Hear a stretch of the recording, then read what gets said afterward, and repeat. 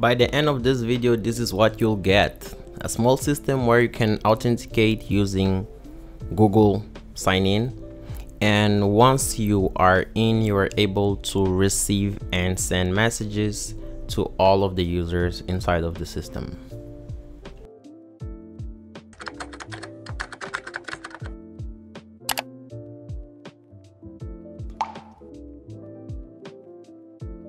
There's a relatively high demand for chat apps these days. So I decided to build one using Flutter Web and Firebase in under 10 minutes and show you guys how you could do the same thing. Hello, my name is Santos Enoque. Welcome to the channel. Hello beautiful people, to start things off you'll have to go to my github repo link in the description section, select branches and select this Google sign in branch and download this code as a zip file.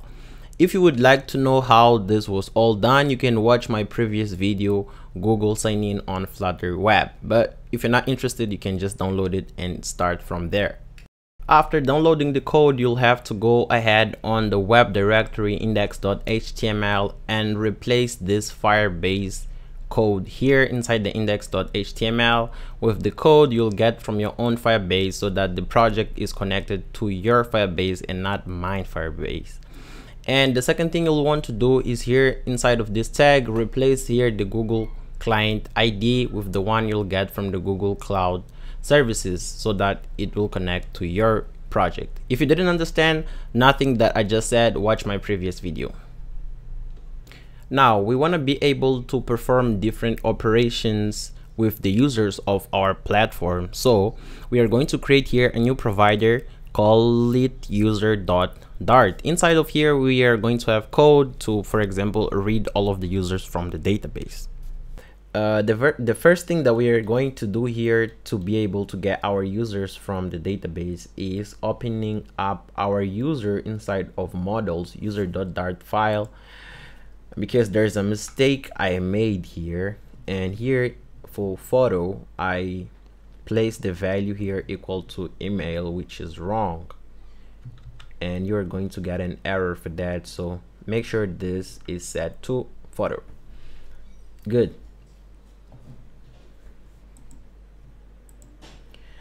After you have created the user provider come here to this file and um, we are going to import here user mod user.dart from models we are going to import user.dart from services. And we're going to import flutter material.dart the name of our provider is user provider with change notifier. And uh, our first variable or property here inside of our provider is a list of users called users. And then we need an object private object of the type user services after that we have our constructor here which is a named constructor called init that it's going to call another method called get user. There's a lot of calls calls here. And here we have our get user which is a future method because of this async here. And the only thing it does is calling user all and we wrote this code on our previous video what it does is it gets all of the users from firebase and assigns it to our variable here and then notifies listeners. Good. After that what you want to do is go ahead and open up your main.dart file. And in here we want to add this line here which says change notifier dot value user provider dot init. Basically we are registering here our user provider provider. Good. Um after that go ahead to widgets and where you see users card here. For now all of these values are manually placed here. So we'll need to change this and uh, to change that we are going to do right here where you see user custom text. We are going to change this to users dot user model dot name. And don't worry we are still going to define this variable so you, you will understand what is this user model and here on our background image where we have asset image we want to set it as a network image. And here we have user model dot photo and um, this is good. Finally to solve that error we just need to add here our user model variable. Right? And that's going to fix the issue. Now after that is done we are going to our side menu here. And uh, on our side menu is where we actually display our users. So we will start by importing here our chat app provider users.dart provider. And then we want users card. And then we want the providers package. The first thing to do here inside of our build method is to define our user provider and right underneath here our side headers where it says all users. And you may have um, a bunch of code here. Just clean everything. And right underneath side headers we want this expanded widget. And inside of our expanded widget we want a column widget. And for the children of this column we are going to have here user provider dot users which is the list of users we just defined on our user provider.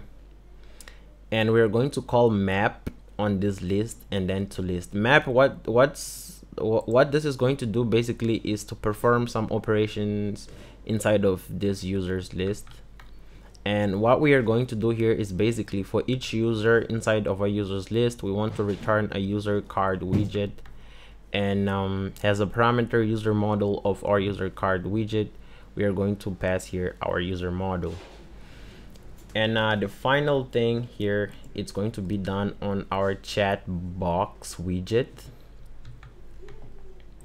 And what we want to do here is basically import here our auth.dart provider and import our providers package as well.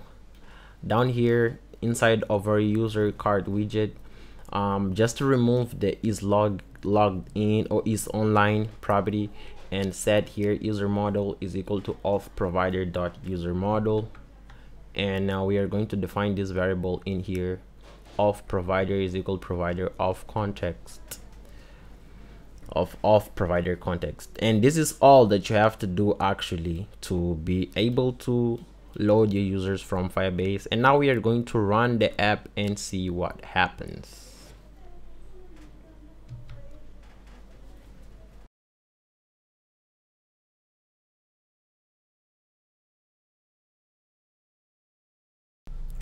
When you do run the app make sure you specify the web port has 5000 because if you don't do that the app's not going to work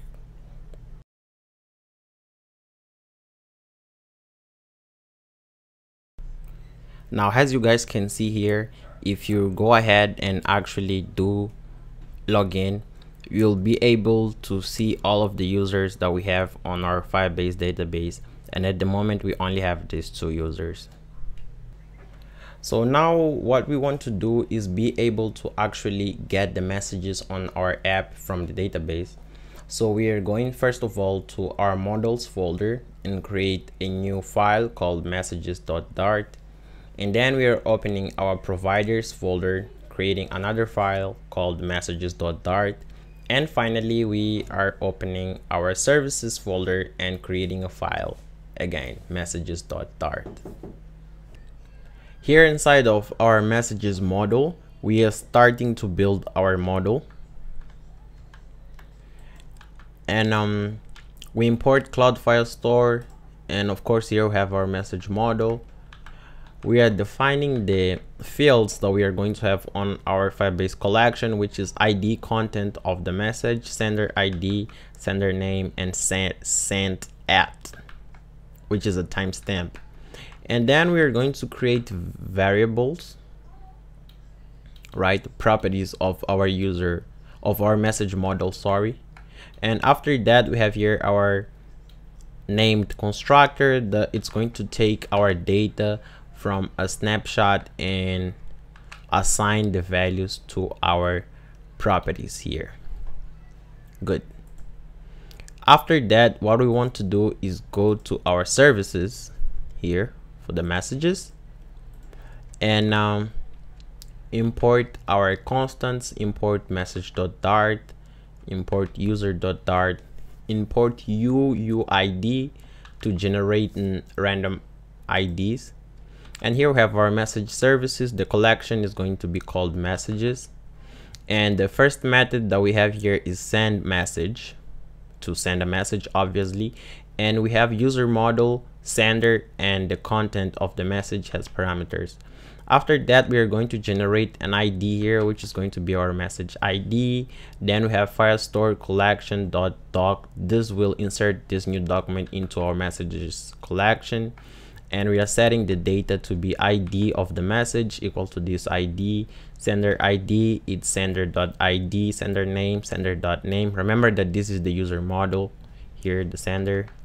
And the content is content of the message sent at is date now from and this basically is going to give the current date of when this message was sent after that we have get messages and this has to be a stream because we want to make sure that every time we have a new message in on firebase we automatically update our app. That's why we are returning a stream here of list message models. Then we're going to return firebase firestore dot collection dot order by sent at so that we are going to have we, we will order the messages based on the time they were sent then we have here dot snapshots dot map so that we can iterate through the snapshot snapshots. And in here we have event docs which are our documents dot map snapshot message model dot from snapshot. Basically all of this what we are doing is we are converting all of the messages that we get from firebase into this message models and dot to list to return a list. Good. After that we will open up our message provider here and import user models import services for the messages import flutter material.dart message provider from change notifier. Obviously we have here our, our message controller which is a text editing controller. We have here message services. We just created this file and here we only have one method called send message that takes the user model as a parameter. And here we have user services dot send message. We we are passing the sender and the content of the message. This is basically all. And here we have message controller dot clear so that every single time the message is sent we are going to clear our text editing controller and this is basically what we needed to do here. Good. And uh, after that we are going we are going to our widgets here. Let's start with the footer because this is where the message is going to be sent from actually. So starting here for our text editing controller we are going to pass that as a controller of our text field here inside of our footer and we are going to import auth on inside of providers. We are going to import messages inside of providers and we are going to import the provider package. After that we declare here of provider and we are declaring our message provider as well. After that is done here inside of our text field we have this parameter on submitted and here we have value message provider dot send message and we are passing here the sender being equal to auth provider dot user model. And what this is going to do is basically when the user clicks enter in the key in the keyboard the message is going to be sent. If you don't want to do that there we can pass the same code here inside of our icon button so that the message can be sent either by clicking or on on pressing enter or clicking on the button. Good the final thing here is in here inside of the widget chat box. What we want to do is we are going to call our messages provider but if you pay attention here this is the stream actually. That's why we have providers dot of list messages because we want to get message model we want to get a list of message model right and here underneath our divider we had here a list view. We just deleted the list view and now we have a list view builder. Right. We want here reverse equal true so that our list builder because messages are from bottom to top and not top to bottom. That's why we want to reverse our list view. Um, item count here we have messages dot length or zero. Basically if we have no messages here the item count is going to be equal to zero.